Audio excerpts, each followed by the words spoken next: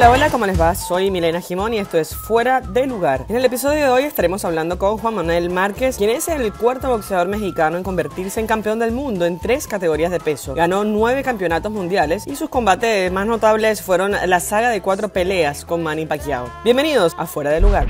Bueno, Juan Manuel, un gusto tenerlo acá en Fuera de Lugar y la verdad que me siento honrada por, por la categoría de invitado que tenemos el día de hoy. ¿Cómo se encuentra? Hola Milena, gusto saludarte. Bien, bien, ahorita pues ya en paz después de todo lo que pasó con la pandemia y todo lo que se vivió, ya como que ya la calma está regresando un poco. Sí, eh, pareciera que todo está eh, volviendo a la normalidad. Eh, incluso hemos visto eh, cuestiones que, que, veíamos hace años atrás, por ejemplo, boxeadores volviendo a, a, pelear y en ese caso también su nombre en algún momento eh, apareció ¿no? en los tabloides. ¿Es cierto que, que tenía la intención de volver o, o, o, es simplemente un rumor que corrió? Sí, era la intención de, de, no volver a pelear, era una exhibición, no era una pelea en, se, en serio, era una exhibición, bueno, que a final de cuentas una exhibición se puede volver una pelea en serio. Eh, sí, sí, sí se había hablado con un gran peleador también histórico puertorriqueño, Miguel Coto, sí, sí.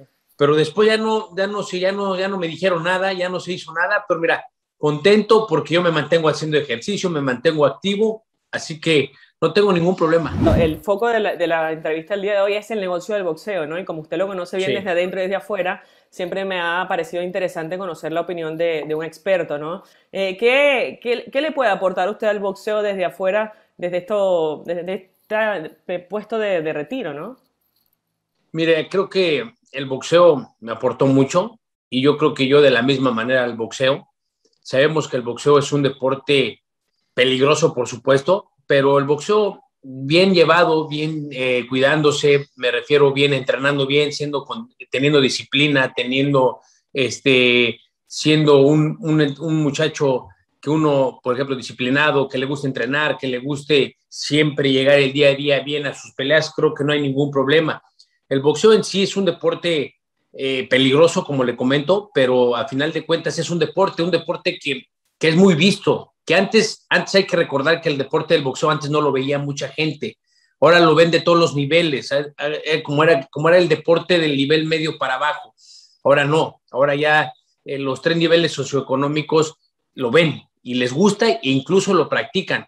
Creo que el deporte del boxeo ya ha abarcado todas esas, todas esas etapas y todas esas este, niveles sociales. ¿Y, ¿Y, a qué cree que se debió ese cambio? Porque en lo particular, creo que obviamente las redes sociales, la masificación, el tema del pay-per-view, que antes era muy invasivo quizás, eh, ha cambiado el negocio, pero para usted, eh, ¿en qué se cree que, que ha cambiado esta, esta forma de ver el deporte?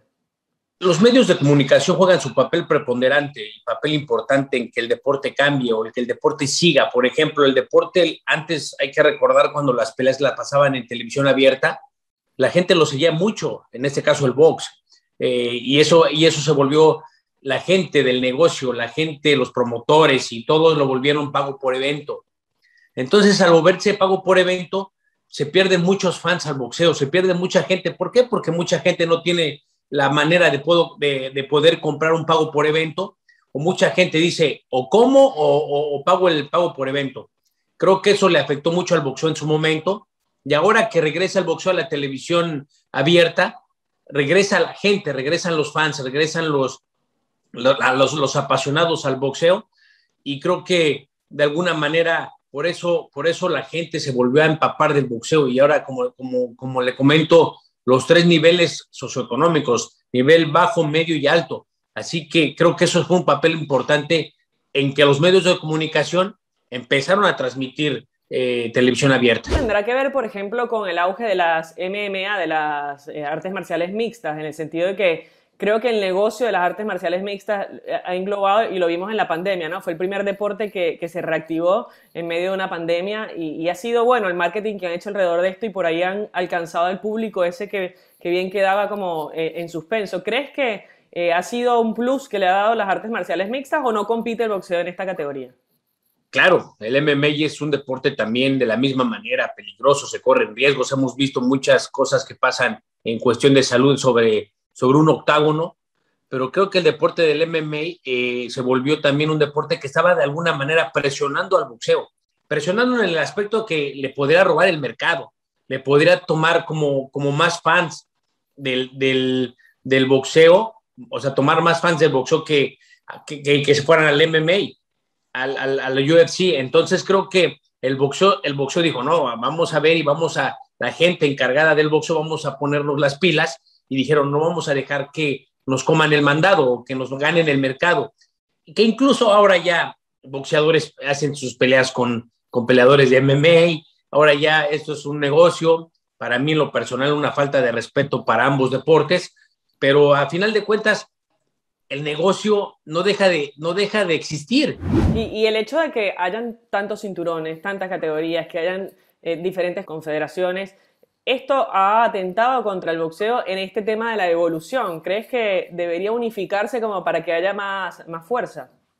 Claro, debe de haber de alguna manera no tantos organismos, no tantos organismos, porque ahora hay campeones de un, de un solo organismo, pero lo más importante, importante, Milena, es que hay campeones mundiales, por ejemplo, peso pluma, el Consejo Mundial de Boxeo, la Organización Mundial de Boxeo, en una división en peso pluma, tienen, tienen seis campeones en el mismo organismo, seis campeones, donde debe de haber nada más uno. Tienen el campeón plata, el campeón oro, el supercampeón, el, el campeón de no sé qué, o sea, pero por una división. Creo que también eso se ha vuelto una parte en que, en que la gente se fija y a la gente no le gusta. Aparte, el boxeo, cuando tienes un solo campeón, el boxeo se vuelve más competitivo. Tienes, las reglas las ponen los organismos, el reglamento de, de, de, lo pone el organismo y el organismo dice debe de haber un campeón y debe de haber un retador oficial.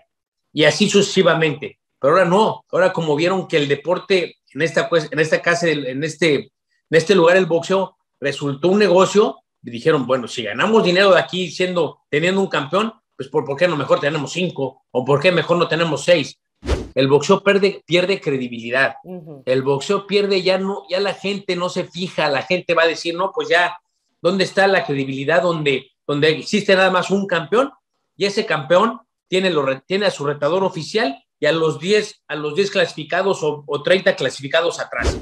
¿No sientes que eh, eh, por ahí es simplemente una opinión desde el desconocimiento, pero que hoy el, boxeador tiene más miedo a perder? O sea, tiene eh, como ese temor a fracasar en el ring y por eso no se ven grandes choques que estamos esperando y como que no se terminan de dar.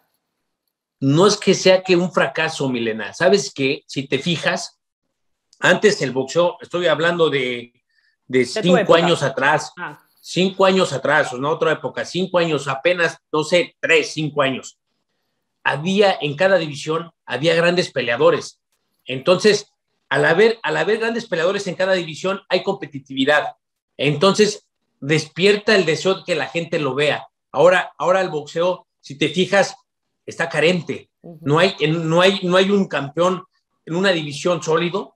No hay un campeón que diga, a ver, yo, yo aquí soy un peleador de renombre o soy de nivel para poderle competir a cualquier peleador que esté, que esté, que está siendo campeón o de los que están clasificados. El boxeo, como decimos en México, está en tiempo de vacas flacas.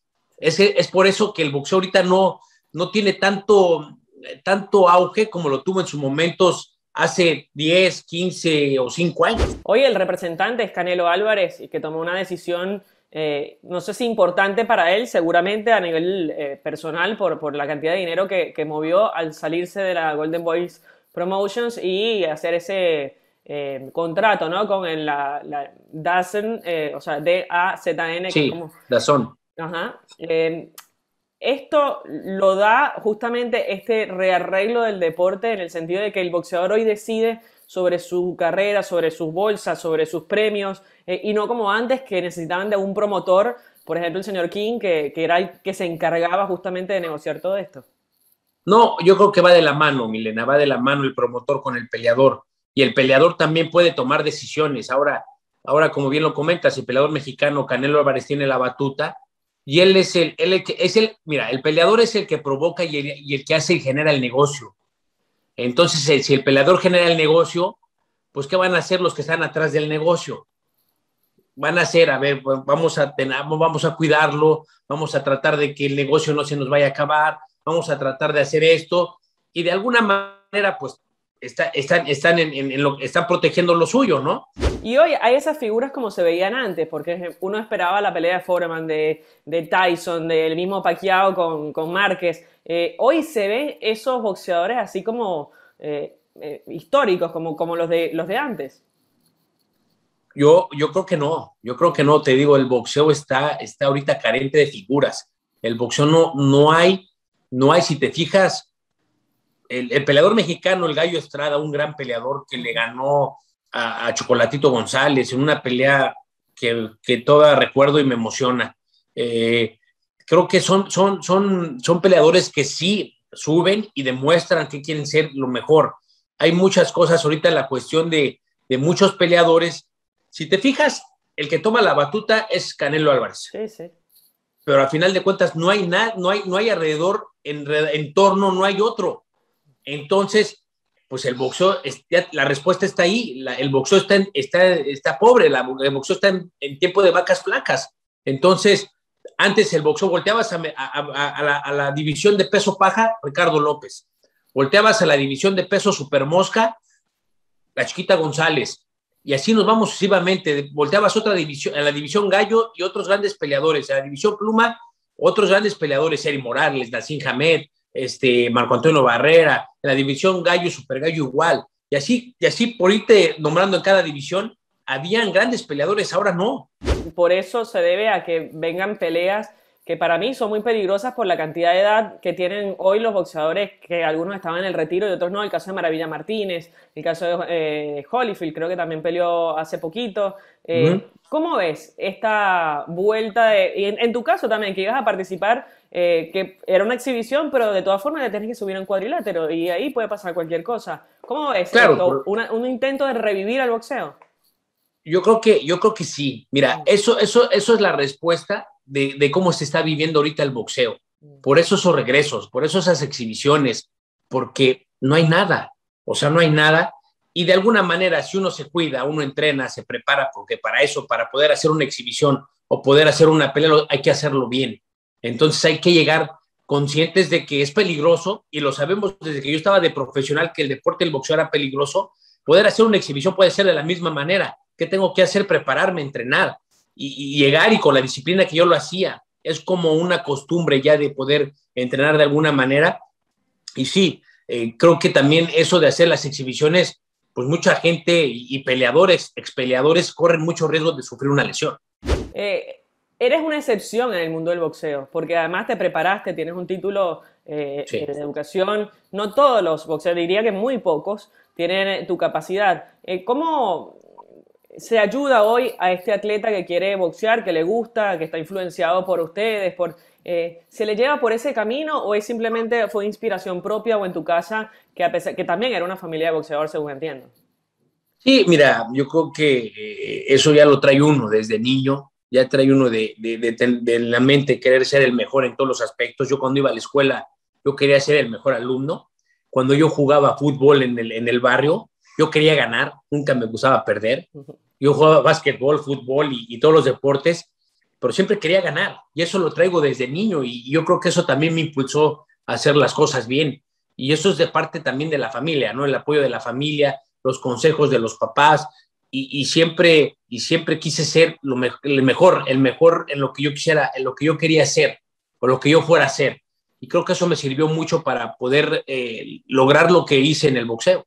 ¿Y cuándo te diste cuenta que boxeador era lo que quería ser?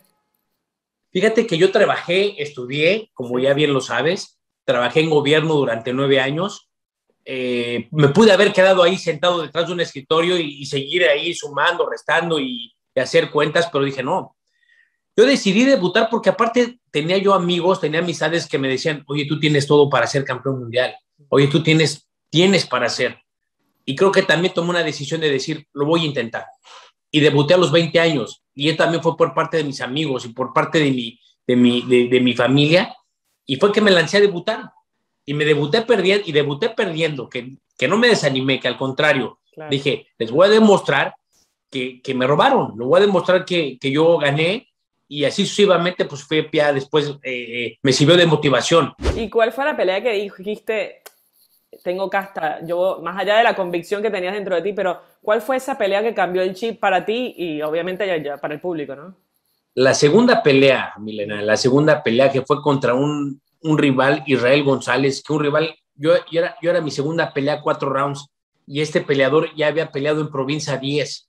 O sea, me refiero a provincia en otros lados, en otros estados en la Ciudad de México. Sí, sí. En la República Mexicana ya había peleado en otros lugares a 10 rounds. Yo apenas a cuatro en mi segunda pelea. Eh, eso, eso, el saber ese, ese, ese, ese nivel que ya traía el otro peleador y que yo lo hubiese noqueado en cuatro rounds, dije, esto es lo mío. Fuimos privilegiados de poder disfrutar de esas peleas y esa saga de, de Manny Pacquiao que anunció eh, su retiro finalmente. Eh, ¿Qué opinión te da ese rival? ¿Crees que, que le quedó esa espinita de poder vencerte? Mira, no sé si le quedó o no, Milena, pero lo más seguro es que sí, que sí le quedó porque qué peleador se puede retirar perdiendo y, y bueno, bueno, él se retiró perdiendo con Jordan y su gas, sí, sí. pero, pero ese knockout va a ser inolvidable durante muchos años, ya queda la historia ese knockout. Y yo creo que sí va a ser como el, como el, el granito negro el, o la piedrita ahí en el arroz. Eh, cada vez que digan, eh, le mencionen a, a Paquiao mi nombre, no, no, no, no, se le va a poder olvidar. Y creo que va a estar acorda, recordando, recordando y recordando. ¿Y para ti cuál es el mejor boxeador de la historia? Si tienes que nombrar a uno. El mejor boxeador de la historia, Mohamed Ali. Mm. Mohamed Ali, Milena, creo que un peleador que le gustaba intercambiar golpes, que le gustaba boxear, que mostraba coraje, que mostraba técnica, que, que, que, que creo que la gente, por eso en su momento, él llenaba las arenas, donde quiera que se paraba, y lo que más me gustaba de Mohamed Ali, cada vez que decía, lo voy a noquear en tal round, lo hacía. Claro. O sea, creo que para mí es el mejor de la historia por ese tipo de cosas, porque aparte enfrentó a los que tenía que enfrentar. Nunca fue un peleador protegido y él aparte, él decía, yo quiero pelear con tal, yo quiero pelear con tal. Y ahí no había manera, ¿no? Porque no, no decía... Podía decir que no. No podía decir que no y él lo hacía.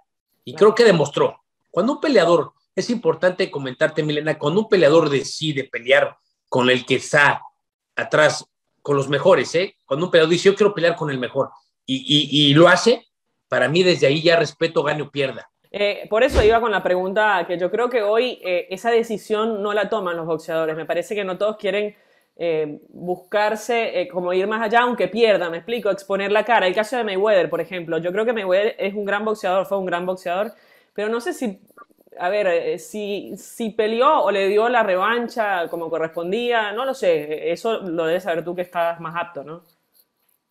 Mira, eh, eh, creo que este, pues Floyd Mayweather hizo su, su, carrera, a muchos les gustaba cómo peleaba, a muchos no, y el boxeo, el boxeo es el, como lo llamamos, ¿no? El arte de, de, de pegar sin que te peguen, y él lo hacía bastante bien, pero para mí eh, eh, es uno de los mejores peleadores en la historia, pero no el mejor, porque él se, él se cataloga de esa manera.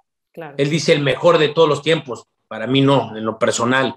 Eh, creo que hizo, una, hizo una gran carrera, una carrera también de mucha protección. Y, y un peleador en, en, los tiempos de Mohamed Ali, pues un peleador no hacía eso.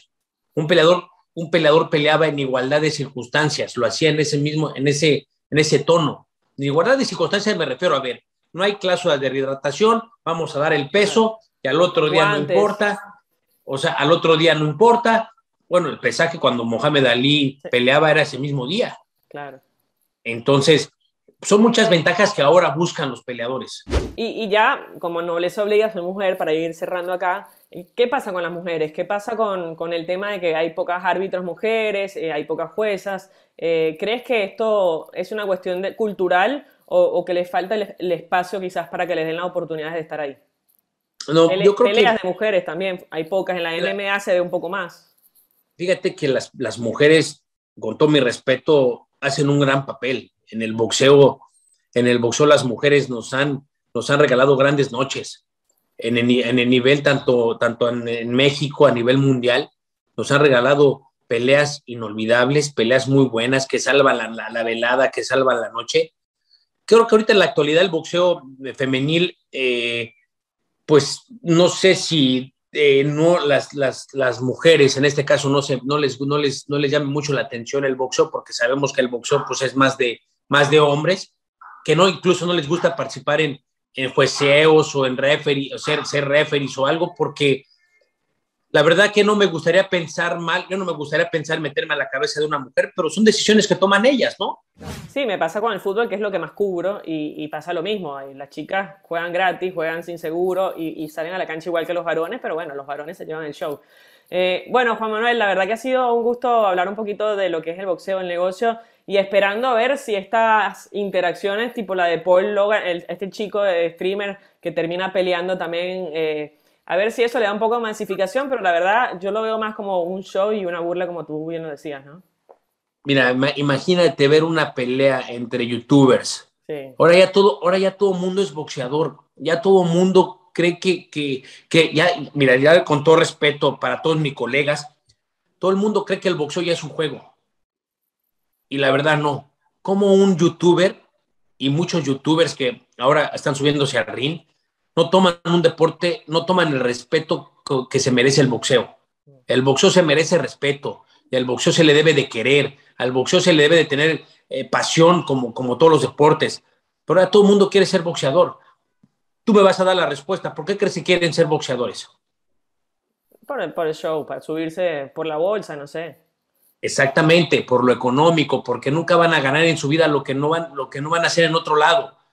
Pero lo más, lo más, lo más triste es que, es que uno, uno como aficionado, lo ve.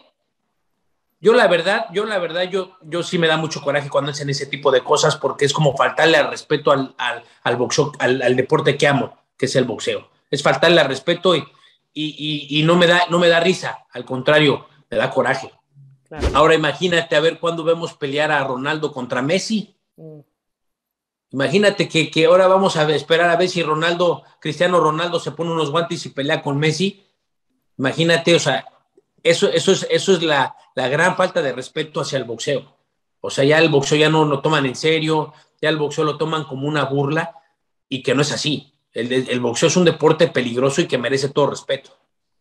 Ahora, sí, sí. es un negocio, es un negocio, pero ya lo están haciendo muy descarado. Ya no, ya, ya ahora todo el mundo es boxeador, ya los youtubers, ya, todo el mundo es boxeador. Y mi respeto para todos ellos, ¿eh? porque también, también se ganan la vida haciendo lo que ellos hacen. Pero también el boxeo merece respeto. Y lo que veíamos con Notorious, ¿no? Y esa pelea que hicieron de UFC contra boxeo, que termina por decisión, pero, pero bueno, yo soy de las que piensa que ahí queda más expuesto el boxeo que las artes, porque tienen más que ganar. Un, deporte que es más nuevo contra un deporte que, está siendo eh, ya más antiguo y que está perdiendo vigencia. Sí, a ver, ¿por qué, por qué no ahora los, los, peleadores, los boxeadores, me gustaría que fueran al octágono a hacer, hacer, hacer una pelea con un, peleador de UFC o de MMA? a de todo se vale. Me gustaría ver un boxeador Imagínatelo, Milena. No, le caen a patadas. No, no, no, no, no. No dura ni 30 segundos. Bueno, te agradezco, te agradezco estos minutos. Siempre es muy nutritivo conocer de la mano de una figura tan importante como tú. Y bueno, mis mejores deseos. Ojalá eh, podamos, no te puedo ver desde acá, desde el sur, pero bueno, esperemos que, que tengamos noticias tuyas pronto. Cómo no, Milena. Muchas gracias, gusto saludarte y saludos a todos tus fans. Recuerden seguirnos en todas las plataformas para que les lleguen las notificaciones de nuevos episodios. Nos buscan colocando fuera de lugar con Milena.